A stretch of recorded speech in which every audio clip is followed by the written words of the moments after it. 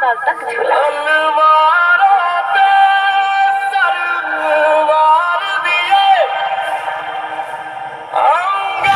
सिधौली पंचायत के पंचायत तरह का समिति अपील के करना उम्मीदवार दीपावली एवं छठ की शुभकामना दिए साथ में उन्होंने जनता से अपील की कि सही प्रत्याशी को वोट करें और जीत पर मोहर लगाकर भारी मतों से उनको विजयी बनावे कैंडिडेट का क्या नाम है? सतीला खातून कौन सा छाप मिला है?